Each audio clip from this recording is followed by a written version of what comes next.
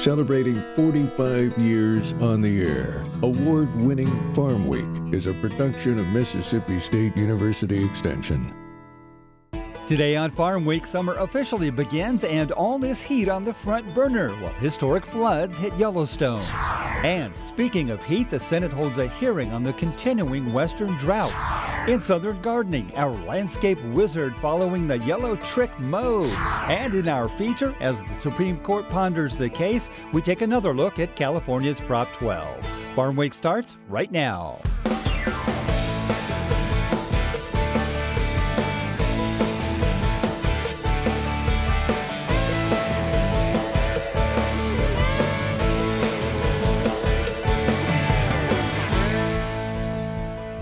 Hello, everyone. I'm Zach Ashmore. And I'm Mike Russell. Thanks for joining us again here on Farm Week. Jonah Holland on set. We continue a new format with the Newswire at the top of the show. Jonah? Thanks, Mike. Once again, lots to talk about today. Let's get right to it. We'll have more on weather and high temps later on in the show, and you may have heard about the recent heat-related deaths of at least 2,000 head of cattle in Kansas, but the FDA said back in late March that meat products from genetically modified cattle bred to be heat resistant don't cause any safety concerns. The process is known as IGA, intentional genomic alteration. And now, with the FDA's blessing, developers can bring their products to market sooner rather than later. In other news, while the Fed raised rates to finesse the demand side of trade, the World Trade Organization met in Geneva to work on the supply side of things. On the table was everything from copyrights for COVID vaccines to ag subsidies. And by week's end, WTO boss Ngozi Okonjo-Iweala was confident about subsidies for fisheries as well. Iweala says talks have been productive and is hoping for further agreements. They've been elusive over the last decade. And speaking of trade deals, the U.S. Meat Export Federation is reporting that South Korea has joined Mexico, the Philippines, Taiwan, Vietnam, and Brazil in lowering or eliminating several food trade tariffs. Some of the cuts build on previous agreements already in effect. South Korea's announcement is a duty-free quota on pork expected to be 50,000 metric tons, and it should help many countries, some of which have yet to negotiate free trade agreements. And finally in the newswire, last week we told you the passage of the Ocean Shipping Reform Act was right around the corner, and that's exactly what happened. Since our broadcast, the President signed the bipartisan bill into law. It expands the regulatory authority of the Federal Maritime Commission and is designed to protect American exporters from unfair trade practices.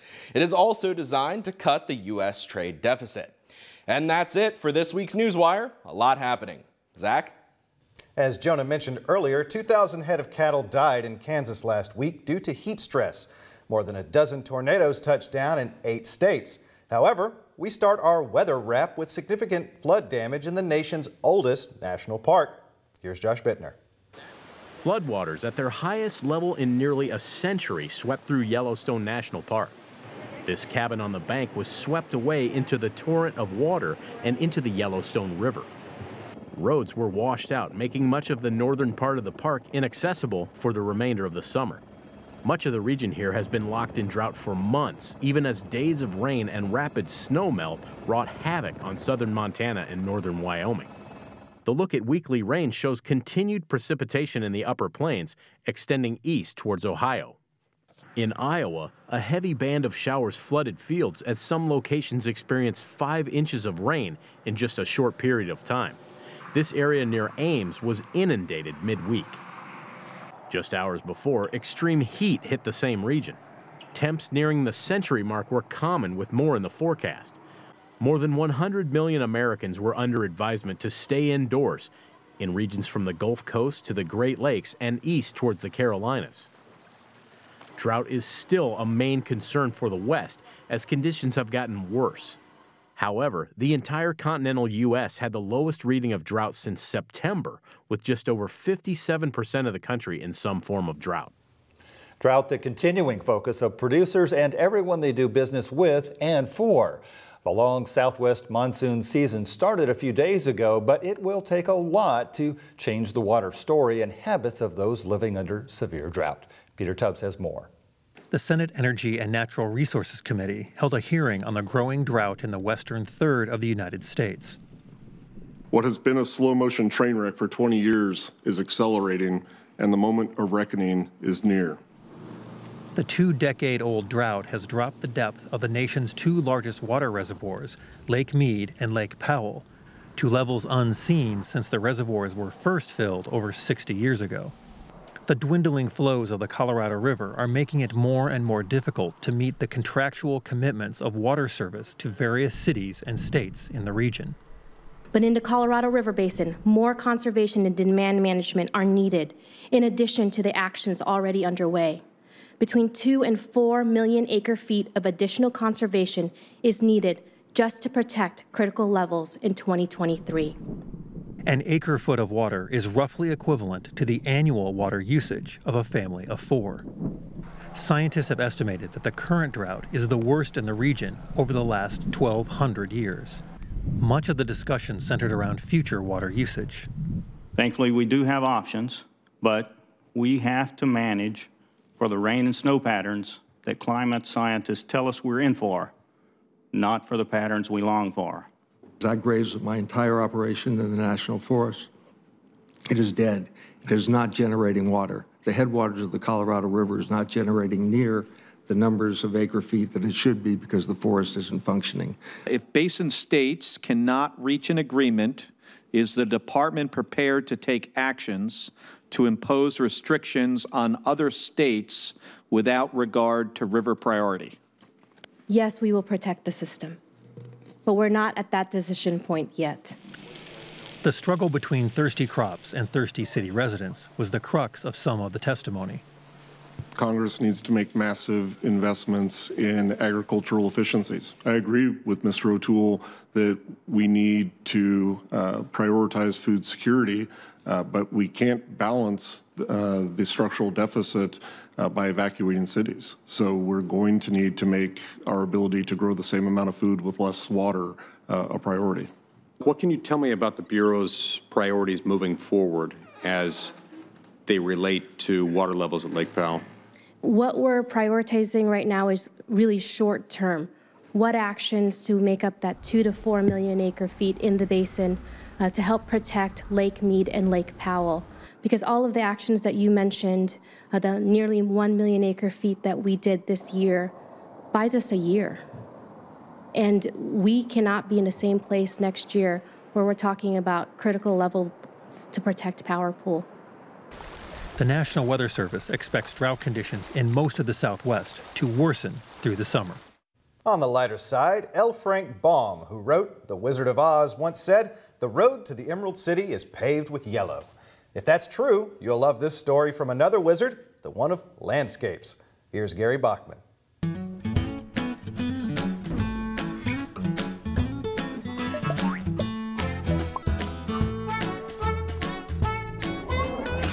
Yellow flowers are a symbol of friendship in the garden. Let's take a look at some yellow flowering plants brightening the grounds of Sunnyside in Natchez. Doesn't like the sunny disposition of these yellow daylilies? The beautiful flowers open on arching stems and gently sway in the breeze. Each flower only opens for a single day, with one of the many buds ready to take its place. One of my favorite yellow flowers are Coreopsis. This plant is commonly called tick seed because the seeds resemble ticks. The Heliot selection offers prolific blooming daisy-like flowers that are splashed with burgundy red at the base of each fringed petal. Uptick yellow and red continuously produces bright yellow flowers with bold red banded petals. I also like the cute teddy bear Coreopsis selection. Prairie coneflower are massed on the back hill, creating a meadow-like effect. Each flower has drooping yellow petals and a prominent dark brown cylindrical center disc. This drought-tolerant perennial will attract many kinds of pollinators. This can be an aggressive reseeder, and the back hill at Sunnyside is the perfect location. Usually we see creeping Jenny in containers spilling out over the rim, but it's also great when used as a ground cover. I love the effect this chartreuse yellow carpet has as it trails and spreads out into the landscape. Be sure to use any or all of these plants for your own yellow themed landscape. I'm horticulturist Gary Bachman, and I'll see you next time on Southern Gardening. We'll take a break right here, but don't go away. Coming up in our Farm Week feature, Prop 12 in California. It's a major policy shift on livestock, but if it takes effect, it will also impact everyone outside the Golden State. One example, pork producers say it will lead to catastrophic costs. And you know what that means. Bringing home the bacon will be a lot tougher. California's Prop 12, the clock is ticking and the Supreme Court will have its say. Coming up on Farm Week. Don't go away.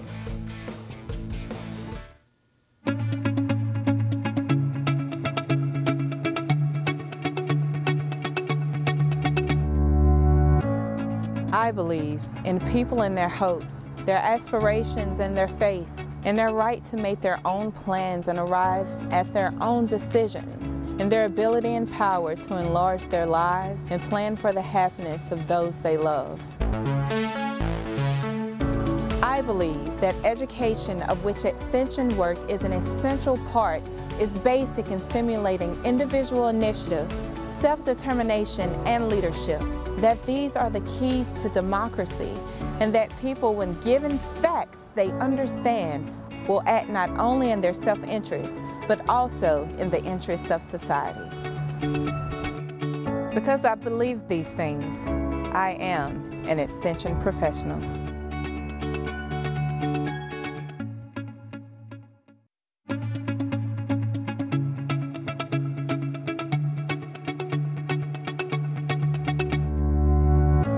I believe in people and their hopes, their aspirations, and their faith.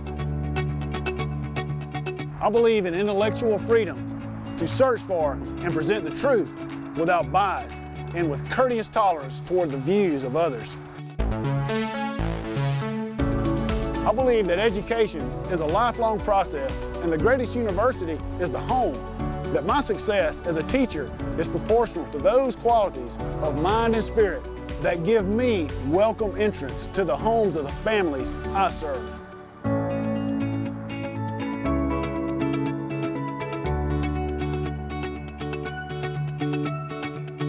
Because I believe these things, I am an extension professional.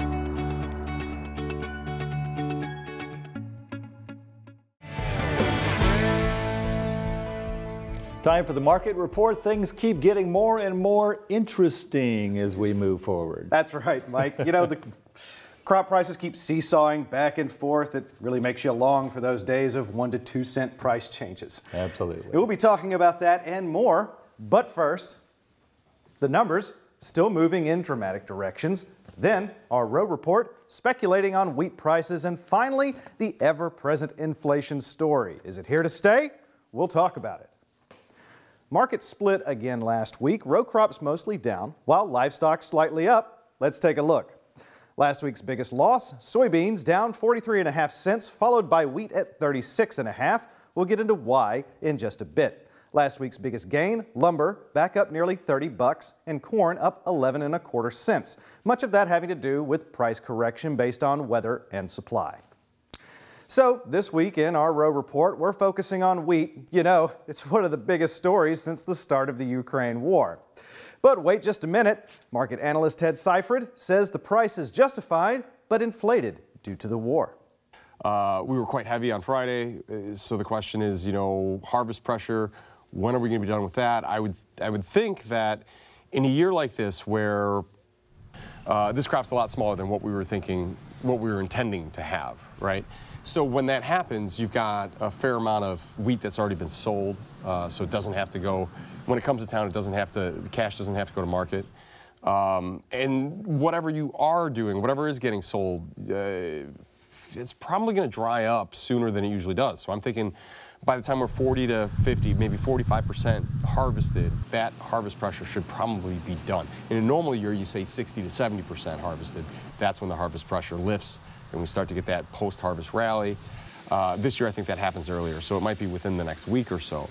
Um, but again, that kind of depends on what's going on with row crops, I think, and it also kind of depends on what's going on with the whole macroeconomic uh, climate that we have as well. You know, we found a, a level um, that really, I think we we're sort of value priced in wheat, and without seeing a huge increase in exports, it's tough to say that you know the initial spike that we got from the Ukraine or the Russian invasion of Ukraine it's hard to say that was really justified. In fact, at the time, it was a short squeeze. It wasn't really fundamentally justified, in my opinion. Now, since then, we've had some bullish things happen for the wheat.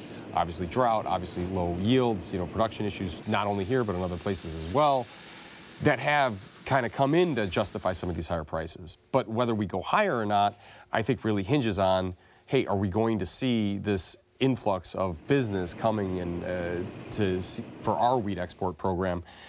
And we haven't seen that so yeah. far. Uh, I think you have to have really big doubts about that. So, yeah, uh, again, I think wheat can recover after we get past the harvest pressure. I think there can be some more upside, but it has to come from strength in the row crops. I think at this point, wheat would be the follower. Inflation, that's the big economic news we're all talking about. But is it here to stay?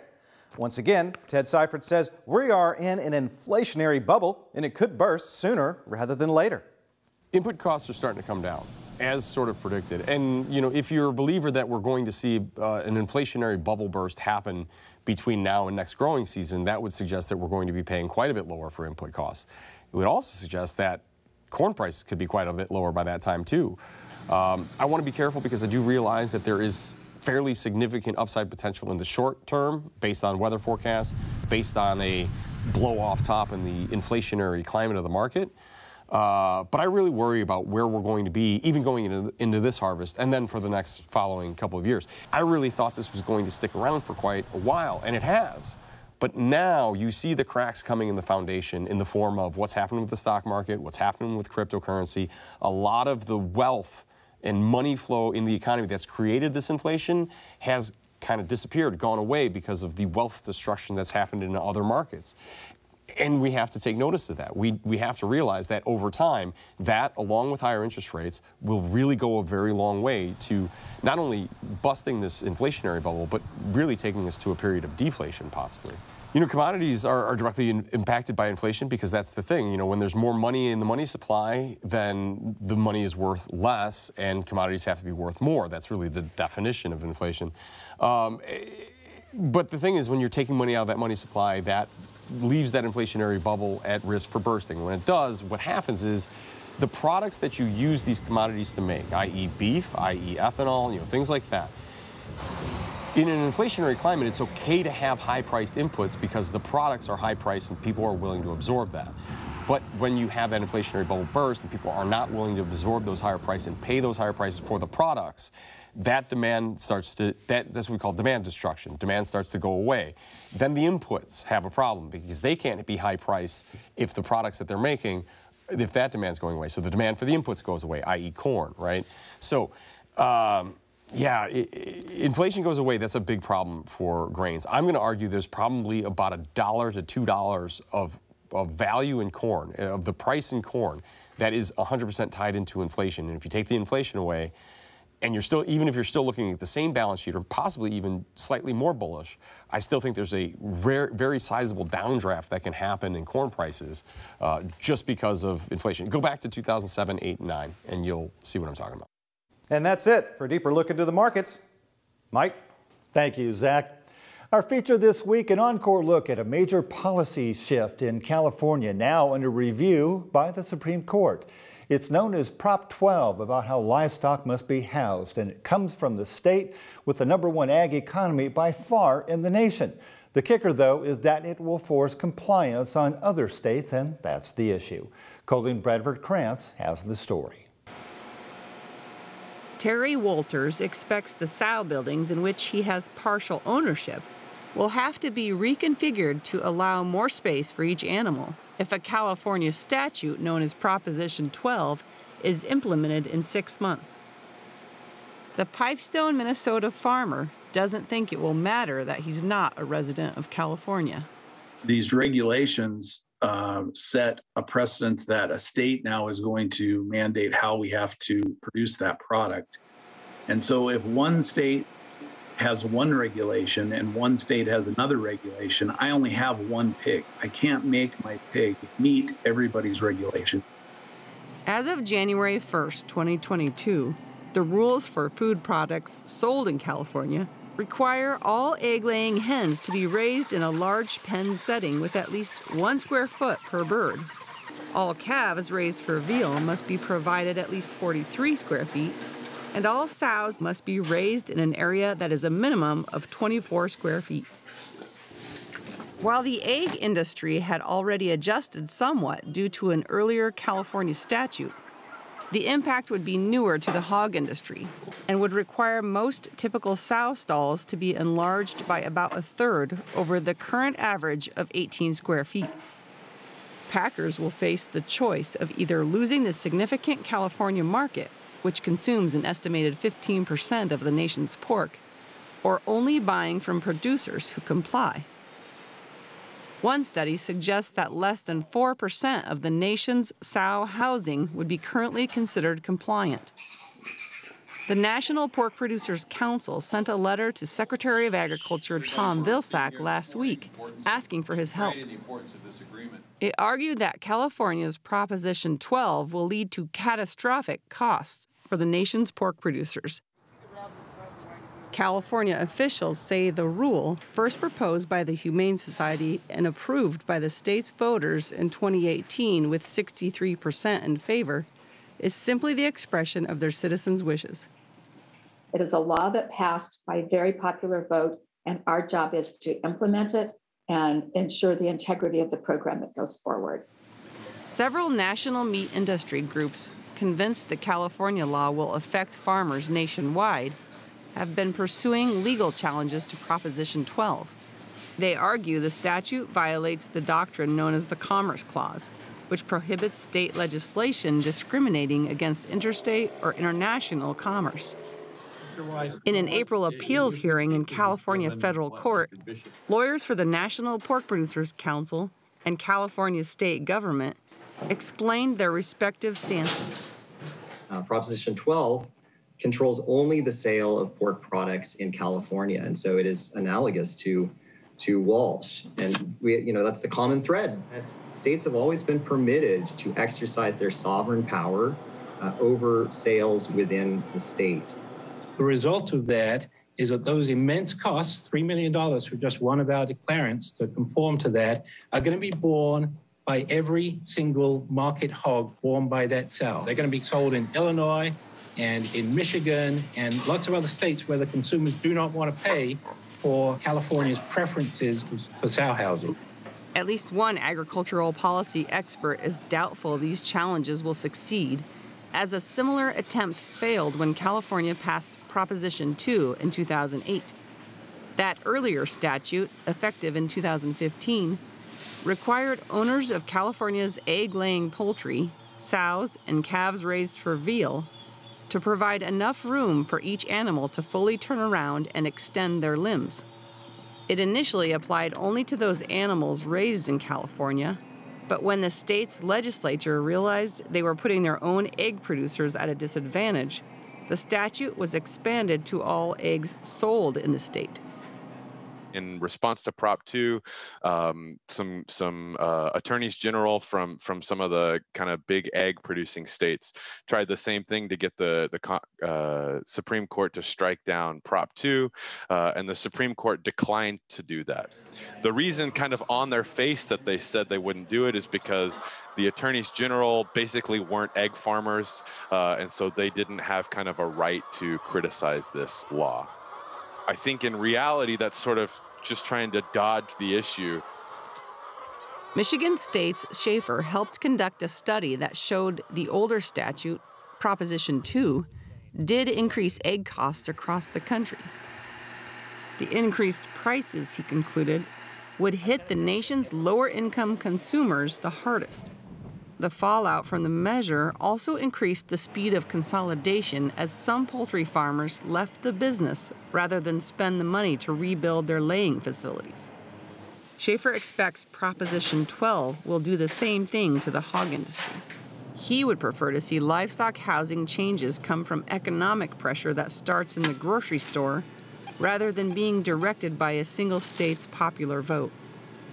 If we care about animal welfare, I might be willing to pay more for um, animal welfare friendly eggs or animal welfare friendly uh, pork. Um, this is a different thing, right? Those people that said no now don't get the option um, to vote with their wallets anymore. And so uh, that is definitely going to negatively affect and, uh, and, and has negatively affected sort of the poor people who um, rely on kind of these staple proteins to feed their families. California Agriculture Secretary Ross would have preferred a legislative debate. Our proposition process, uh, you know, just really restricts that exchange of information and the kind of sometimes very detailed and precise scientific information that's hard to convey when it ends up being in a campaign that's about, you know, 30 second sound bites. No question there will be even larger opposition to Prop 12 if and when it takes effect. Well, next time on the show, as we conclude our 45th season on the air, a trip back in time, simpler times for simple pleasures. We'll bring you a Farm Week feature first produced more than 20 years ago, and you'll meet Mr. George Berry, a woodcarver extraordinaire. Mr. Berry is gone now, but back then his carvings brought joy to the hearts of many, and he did it all the old-fashioned way, with a pocket knife. That's next time on Farm Week. Remember, if you missed a story, look for past episodes of Farm Week on our website at farmweek.tv. And don't forget to follow us on Facebook, Twitter, and YouTube as well. See you next week. Thanks for watching.